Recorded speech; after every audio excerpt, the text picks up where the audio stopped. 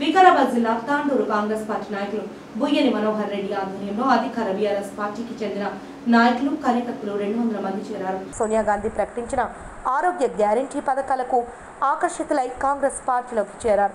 పాత తాండూరు గడినిజం షా దర్గాలో పూజలు నిర్వహించారు. అదేవిధంగా తాండూరు కాంగ్రెస్ పార్టీ నాయకులు బుయ్యని మనోహర్ రెడ్డి డాక్టర్ సంపత్ కుమార్ ఆధ్వర్యంలో తాండూరు మున్సిపల్ పరిధిలోని పలు వార్డుల్లో పర్యటించి బీఆర్ఎస్ పార్టీ చేస్తున్న మోసాలను ఎండగట్టారు. కాంగ్రెస్ పార్టీ అధికారంలోకి వచ్చిన వెంటనే ఇంటింటికి ఆరు గ్యారంటీ పథకాలను అందిస్తామని భరోసా కల్పించారు. ఈ కార్యక్రమంలో మైనార్టీ నాయకులు మహమ్మద్ అమీర్ అబ్దుల్లా నాయకులు బషారత్ నాగేందర్ బషీర్ ఖాసిం జలాల్ తదితర నాయకులు కార్యకర్తలు పాల్గొన్నారు. మీకు తెలుసు ఇంతకుముందు తెలంగాణ రావడానికి ఎంత కష్టపడ్డాం? ఎన్నో మంది ఆత్మ బలిదానాలు చేసుకొని ఎంతోమంది యువకులు ప్రాణాలు అర్పించి కొట్లాడి తెచ్చుకున్నటువంటి తెలంగాణని ఎన్నో ఆశలు పెట్టుకొని ఆ రోజు సోనియా గాంధీ గారు కూడా తెలంగాణ ఇచ్చినట్లయితే ఆంధ్రప్రదేశ్లో నాకు నష్టం వస్తుంది. ఆంధ్రప్రదేశ్లో నా పుట్టి ముడుతుంది కాంగ్రెస్ నామరూపాలు లేకుండా వదులుతుందని కూడా తెలిసి కూడా ఆ రోజు తెలంగాణ ఇవ్వడం జరిగింది. ఇక్కడ ఆత్మ బలిదానాలు అవుతున్నాయి. తెలంగాణకు చాలా నష్టమవుతున్నది తెలంగాణ బిడ్డలు బాగుండాలని చెప్పి ఆ రోజు ఇచ్చిన మాట ప్రకారం సోనియమ్మ మనకు తెలంగాణ ఇవ్వడం జరిగింది.